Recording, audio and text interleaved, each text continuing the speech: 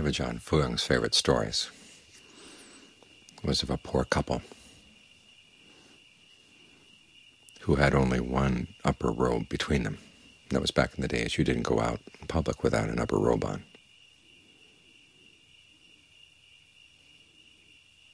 Which meant that if the wife left the house with the upper robe on, the husband would have to stay at home. If the husband left the house, the wife would have to stay at home. They were that poor. They only had that one piece of cloth for an upper robe. They also had underrobes, but that wasn't enough to go out in public.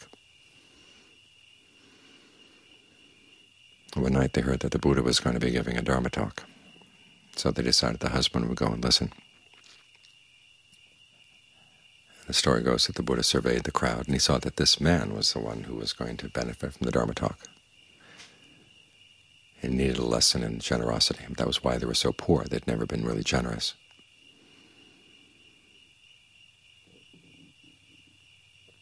And so the Buddha gave a talk on the, the topic of generosity, the rewards of generosity, and the man sat there thinking to himself, this is why we're so poor. We've never been generous. But what do we have? What can we give?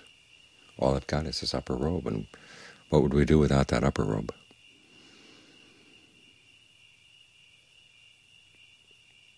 As the talk went on and on, the man was fighting back and forth inside himself. Finally, at midnight, he got up and yelled, victory, victory.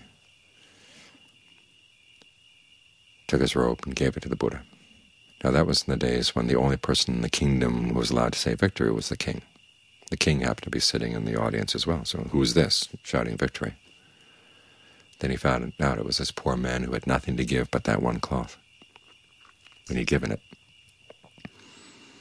So the king rewarded him with two sets of cloth, two sets of whatever, two pieces of gold, two pieces of silver, two horses, two cattle, two slaves, whatever, two of everything. So the man gave that to the Buddha. So the king upped the ante, four of each. The man gave that. Eight of each. The man gave that to the Buddha. Sixteen. Was at this point that the man decided was getting kind of late, so he kept eight and gave the remaining eight to the Buddha and went home.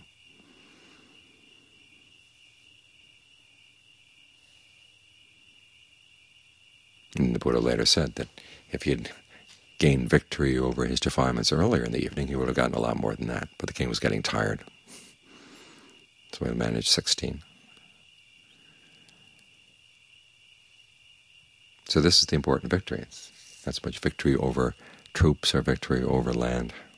Victory over people is victory over your own defilements. That's what it comes down to. We had that chant on the Buddha's victories, and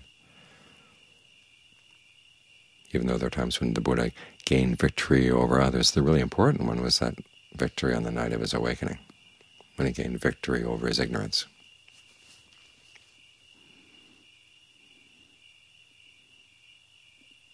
Victory over all the other unskillful qualities that were the, the forces of Mara, the armies of Mara. So as you're sitting here meditating, ask yourself, what is it that you keep giving into? What is it that keep you keep losing out to? Make up your mind that tonight you're going to have some victory here. And part of the mind was saying, oh, you know you're going to go back to your old ways. Don't even bother. Well, that's the part of the mind that's the fifth column that's sneaking into you and trying to keep you from doing anything special. So even though this victory may not be a permanent victory, at least let's have a taste of what it feels like, not to give in to sleepiness, not to give in to sensual desire, not to give in to ill will, any of the hindrances that tend to overcome you. Because as the Buddha said, you know, having victory over yourself is much more valuable than victory over thousands of others. Because victory over other people can turn back into hostility, animosity. That kind of victory doesn't really end anything. But when you put an end to a particular defilement, even if it's just temporarily, it creates no hostility at all. Or as the Buddha one time said when he was asked, what are the cases when you would condone killing? And he said, well, I condone killing of anger.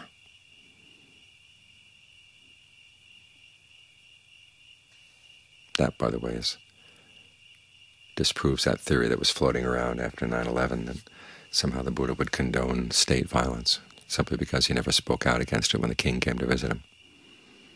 But the only thing the Buddha would condone killing was anger. And the same goes with your other defilements. It's the defilements you can kill off, no problem.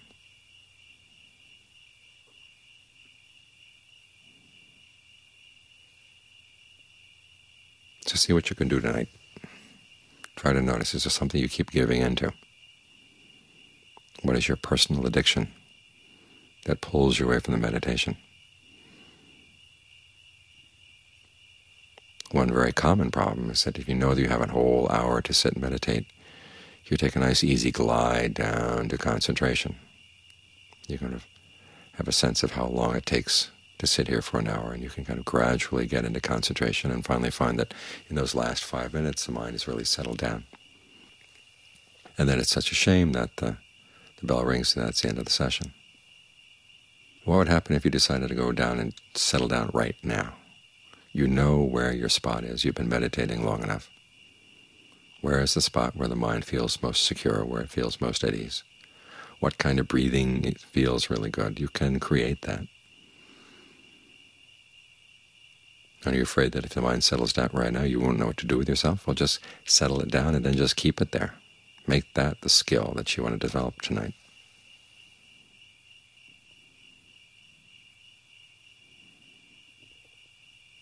In other words, take notice of the tricks your mind plays on itself.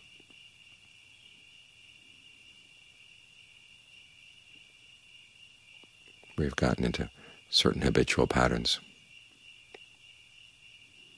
They may not seem particularly particularly bad, but they're not especially good, and they certainly don't encourage growth in the practice.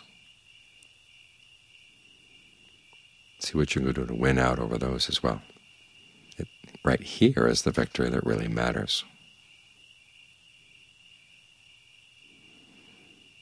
Even, even though you may lose what you win tonight, the next time you sit, well, try again, try again. There comes a point, though, where you really do win out. Everything clicks inside.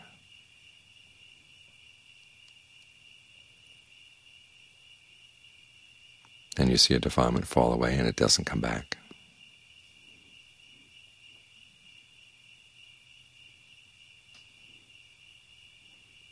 That's the kind of victory that's that really goes straight to the heart.